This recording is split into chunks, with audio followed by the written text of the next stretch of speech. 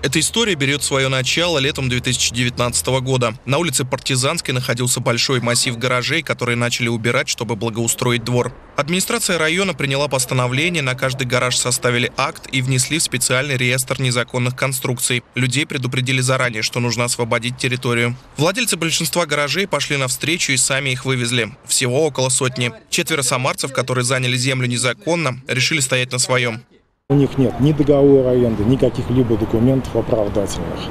Они неоднократно были предупреждены, и э, это далеко не первая попытка администрации э, вывести незаконные гаражи и действовать в интересах э, всех жителей и этого дома, и ближайших, чтобы начать благоустройство указанной территории. Против незаконных гаражей выступали местные жители. Они неоднократно обращались за помощью к управляющим микрорайоном и к сотрудникам администрации. Жители постоянно обращались ко мне с вопросом, э, почему все убрали гаражи, а эти стоят. Ответа не было, потому что, видимо, был взят тайм-аут, что эти гаражи будут снесены попозже.